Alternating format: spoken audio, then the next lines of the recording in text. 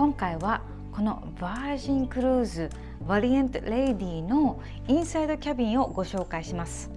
で私たちはプランでキャビンを選べないプラスあの日時を絶対に変更できないやつこれに乗れなかったらもうキャンセル絶対できませんみたいなやつを選んだんですね。でそうするとお部屋が選べないんですけれどもそしたら一番前一番前のここになりました。すごい遠いんですよ、まあ、とにかくねまず開けるのはこのリストバンドになります。バージンクルーズはルームキーがありません。これをかざすだけですね。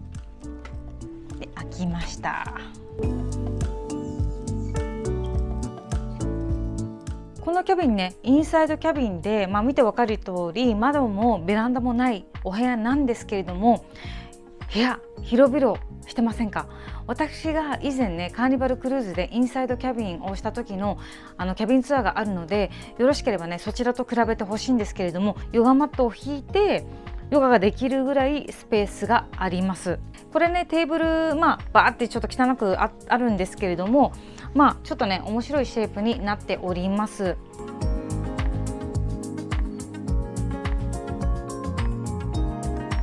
えここにはねお水が置いてあるんですけれどもバージンクルーズはお水を無料でね提供してくれます。その他にもドリップコーヒーとか、まあ、コーラとかそういったものは無料になっております。でこのお水の注文もアプリでボタンを押せば簡単にできるんですよ。電話する必要もありません。でここがミニバーなんですけれどもミニバーは基本的に何も入ってなくてこのお水だけ入っております。でね、えっと、ここにもねスペースがあります。で私たちは、まあ、ちょっとあのパソコンのケースとかケーブル入れるやつとかそういうものをね入れてますね。このタブレットなんですけれどもこのタブレットで全てお部屋のライトもコントロールできるしこのお部屋の温度もできます。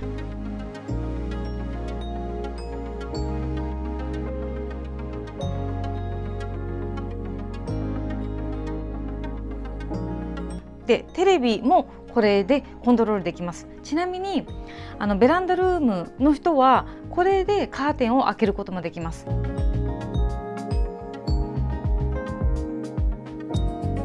でこれがルームコントロールエンターテインメントっていうところに行きます。そうするとねあのいろんなムービーが見れるんですよ。でこれをちょっとスクロールダウンするとここにねあの BBC とかチャンネルが出てくるんですけどあんまり多くないんですね。でここで皆さんにねお教えしたいのがスペシャルイベント2ですね。このねチャンネル2を押すとこのねあの船からの映像が見ることができます。インサイドキャビンにいるとあ今日曇りかな何かなっていうのがわからないですよね。でそういう時にねあのこのテレビをつけておくとあ港に着いたんだなっていうのがわかるようになっております。これね結構使えるのであるとね便利だと思います。ただ、えー、天気とかあと今日の温度みたいなものはアプリケーションでもテレビでもやってないので Google しかないですねただバージンボイジはインターネット無料全員無料なので、まあ、それで港の名前を打って今日の天気っていうのを私たちはチェックしてます。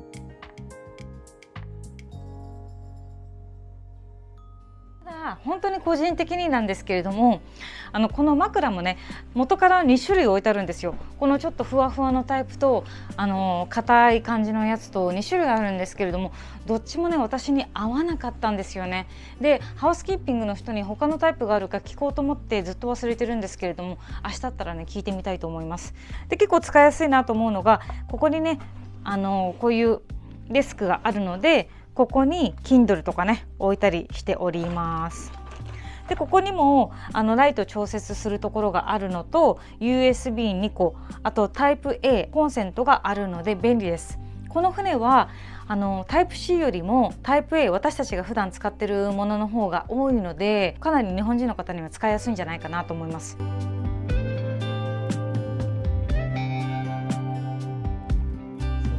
ここはどこにもつながってないので自分でこういう風につけたり消したりしないといけないです。でお部屋ですね。私が以前あのバージンクルーズこんなんですよっていう風にご紹介した動画があるんですね。私がその動画を撮った時のバージンボイジのコンセプトとしては夜はこのベッドタイプ。で昼になるとベッドを移動してソファーになりますよっていうのが売り売りというかだったんですね。だからここがね普通だったらソファーだったかもしれないんですけれども硬いままなんですよね。なのでちょっと座りたいって言ってもなんかね硬いからねなんかちょっと使い道他にないのかなというふうに思っております。お次ね収納をご紹介したいと思います。ここにねまず2つフックがかかっていてここはマグネットですね。私の動画見てる方だったらみんなねご存知だと思うんですけれども100均であのマグネット売ってるんですよね。フック付きのもの。そういうものを持ってきておくとこういうふうにカバンをかけることができます。で他にもマグネットがあって、えっと、私はこのデイリースケジュールですね基本的にバージンボイージでは1日目だけプリントアウトしたものがお部屋に入ってるんですけれども2日目からはお部屋に配られないので欲しければハウスキーピングの人に毎日くださいってお願いをするかフロントデスクに行けばプリントアウトしたものが置いてあるので、えっと、そこから持ってくればいいかなと思います。でこちら収納なんですけれどもこれねカーテンが一応ついていてすごい取り出しやすいし別に見えても構わないっていう人はね開けっぱなしにしておけばいいだけなのでこれね私は非常に非常に気に入っております。もう一つ気に入っているのはここですね。でここにあのこれ彼のキャプテンハットとかこういうものをねポンポンポンって置いておけるので便利です。で面白いなと思ったのはあの100均で売ってるようなこういうバスケットですね。これがねここに置いてあるんですよ。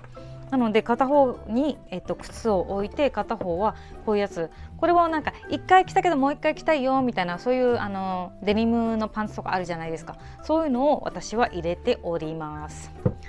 なんかね収納面白いなと思ってこれ使いやすいですかなり。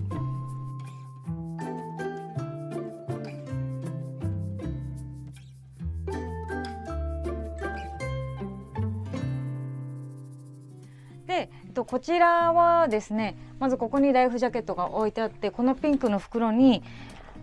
このヘアドライヤーが入ってます。ヘアドライヤー気になる人は自分のものを持ってきてもいいしあの基本的に船にヘアドライヤーは必ずあります。これ使ってみたんですけれどもあの風力がちょっと弱かったので私は自分のやつをね使ってますね。でこれ1回も使ってないですけれどもセーフティーボックス。ちょっとね浅い1段目は浅いやつになってるんですけれどもこういうところにサングラスとか財布とかすぐ使うやつとかを入れたりしてでチップスなんですけれども私はねいつもこのこれは100均で買ったやつなんですけれども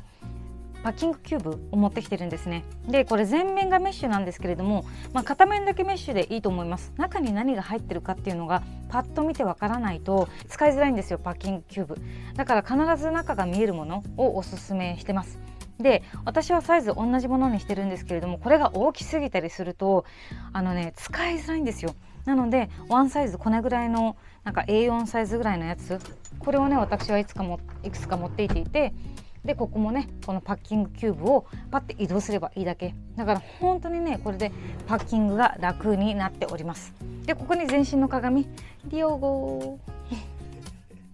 でここにね でここにね、えっと、全身が見える鏡もあるので本当にねよく考えられてるなと思います。ちなみに、えー、ここなんですけれどもここにこれマーク可愛くないですか？グラスが倒れてるのが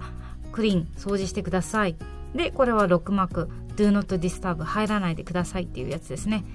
ライトになっております。でここにマスターライトがあってここで全ての電気を消すことができます、えー、皆さんはこのお部屋いかがでしょうか？どう思います？好きでしょうか？ぜひねコメント欄で皆さんの意見を教えてください。でお次はバスルームなんですけれどもバスルーム自体はそんなに大きくないんですよ。あの人1人だから2人で使えないっていう感じなんですね。でこのバスルームで私がすごく気に入ってるのがこのシャワールームのサイズなんですね。他のクルーズラインとかだと結構ねもう一人一人分でいっぱいみたいな感じなんですけどもう壁に当たらないぐらい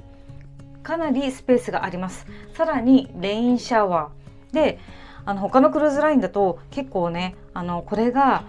コンディショナーとシャンプーが一緒になったものとかばっかりなんですけれども全部これ別になってます。でね本当によく考えられていてここに服とかもついていてこういうね体こうやって洗うやつなんですけれどもこういうのとかポンってかけられるんですよ。本当にねよく考えてる。で見ていただくとわかると思うんですけれども収納もねここの下にも入れることできますし嬉しいのがこれね余分に置いといてくれてるんですよ。なのでなくなったら自分でねあの補充できるんでこうやって多めに置いといてくれるのってねありがたいなと思います。まあ一つだけ一つだけ難点を言うことがあるとするならばちょっとこのシンクが小さいかなって思うんですけれども別にね別にいいんですよシンク小さくたって。ね